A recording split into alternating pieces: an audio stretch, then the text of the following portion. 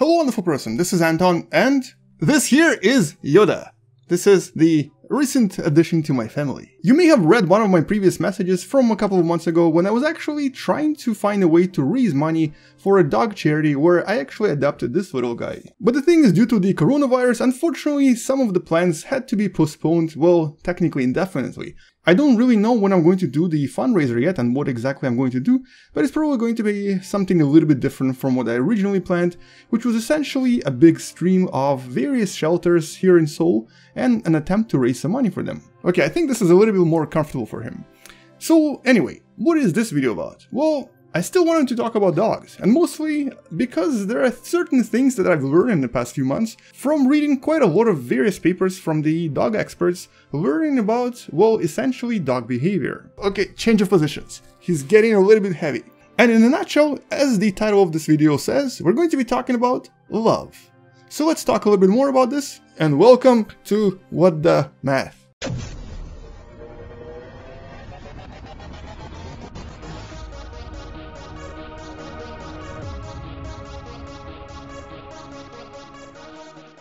So we're talking about the idea of love and more specifically the love of dog toward their owner. And this is something that I guess most of us kind of heard of but never really considered scientifically.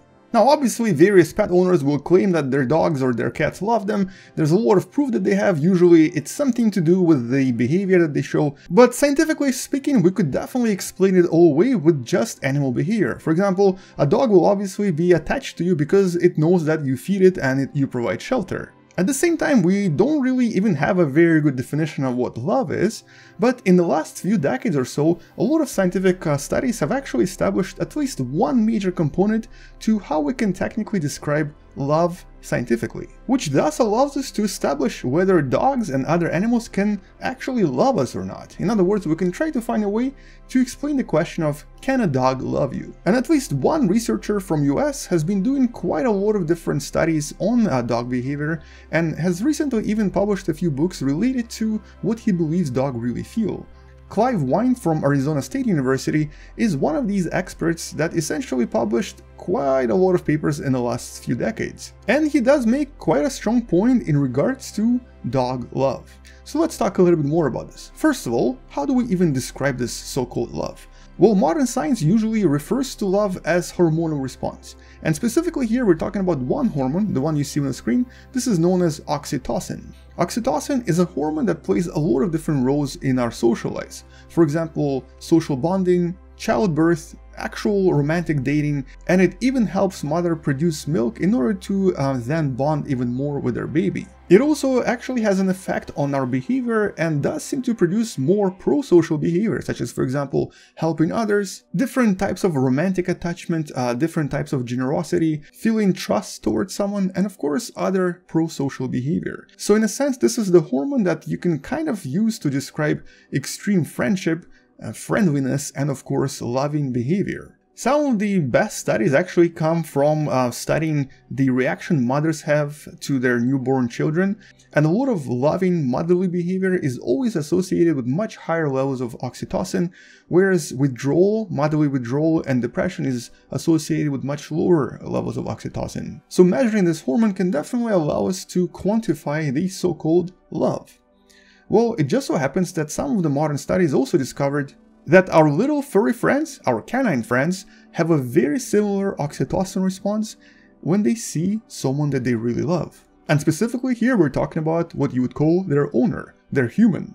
They do seem to love their human and show this love hormonally. And this has also been tested quite thoroughly. For example, one of the experiments placed a dog um, in an environment where there was a bowl of food and their so-called owner or their human, in the same room, at a relatively similar distance to each other. When the door was open and the dog was presented with a choice, without any exceptions, every single dog went for their human first, and only after this proceeded to eat the food. In other words, dogs did show preference for seeing their human first before eating. In another study from 2003, scientists have actually learned that when you pet your dog or when people pet their dogs, the levels of oxytocin went up after about 20 minutes in both the dog and the owner.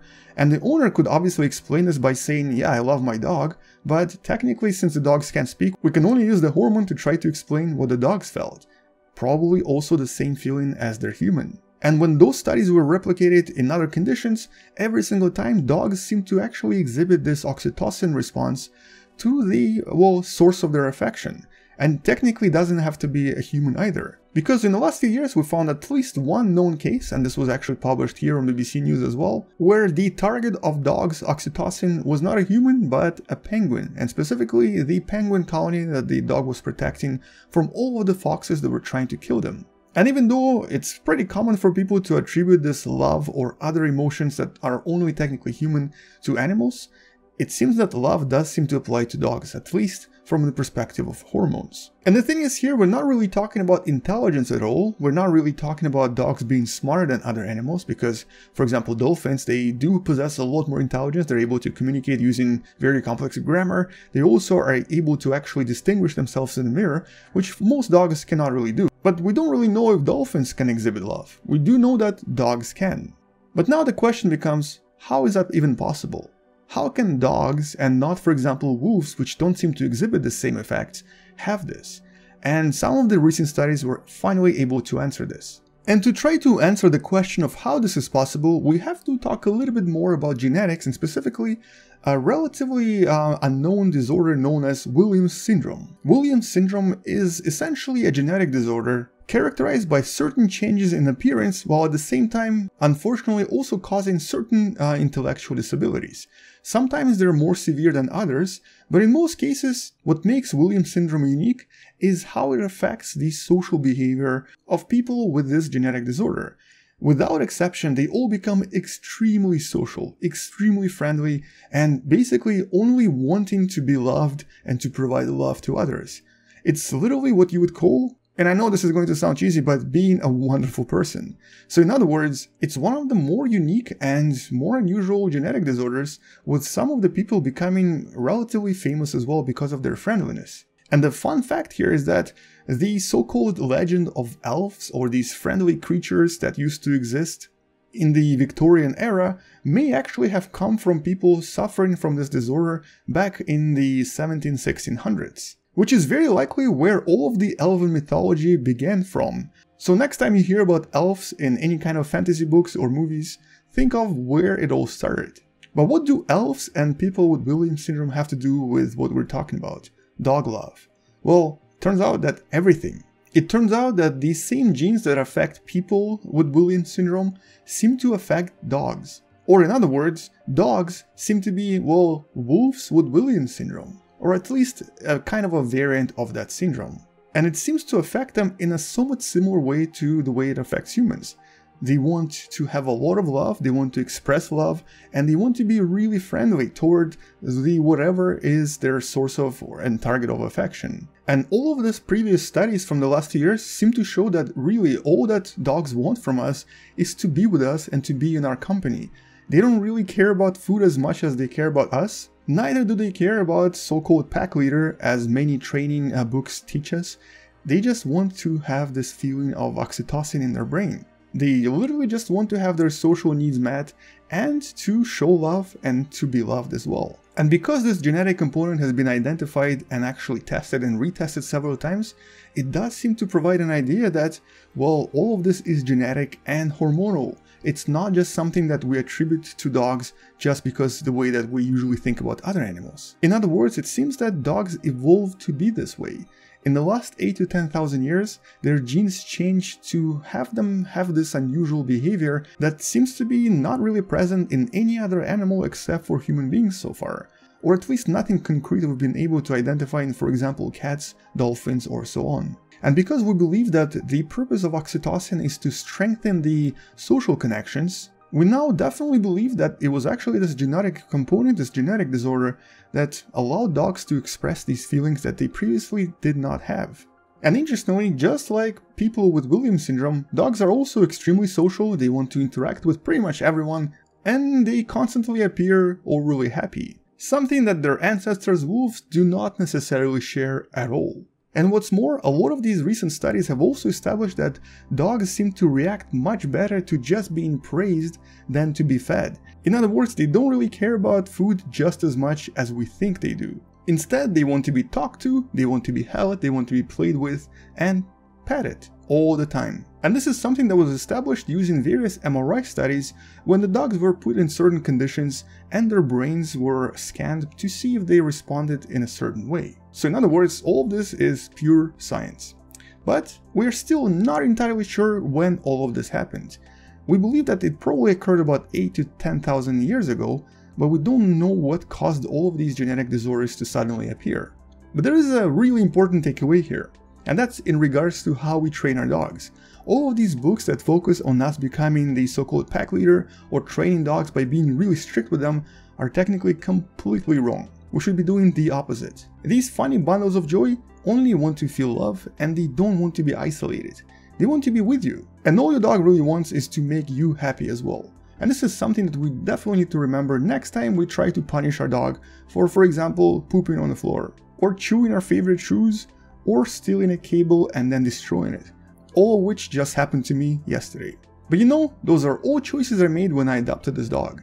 So this is something I'm going to have to deal with for a while. Anyway, so hopefully now you know a little bit more about dogs and how they truly do love you, scientifically speaking. And if you're not a dog person and more of a cat person, well, I'll try to find something about cats, but so far it seems that they are kind of the opposite. Exhibiting more of an evil, not love hormone, which I'm gonna have to do some research on.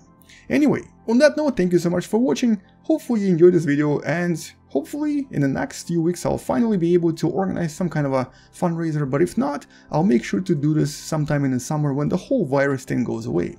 And whether you have a dog or not, I thought that this is something important. I thought that this is something that most of us really need to be aware of, considering that dogs are technically the second most common pet after cats. But anyway, once we learn more about dogs or cats or other animals, or once I discover another really interesting study, I'll make sure to follow this up in one of the future videos. Until then, thank you so much for watching, subscribe if you still haven't, share this with someone who loves learning about space and sciences and these things, dogs and other animals, and oh my god, his breath really smells, I need to brush his teeth.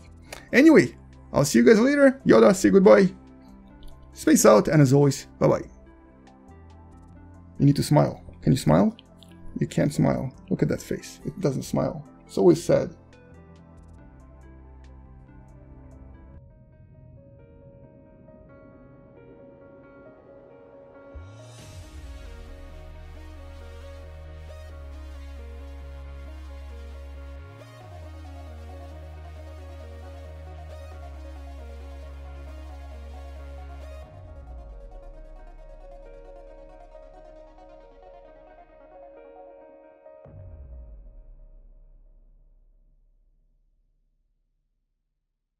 And welcome to What Da Math. Okay, he's about to lick me and his breath really smells bad.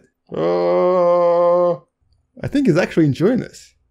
Huh, maybe I should bring him more often.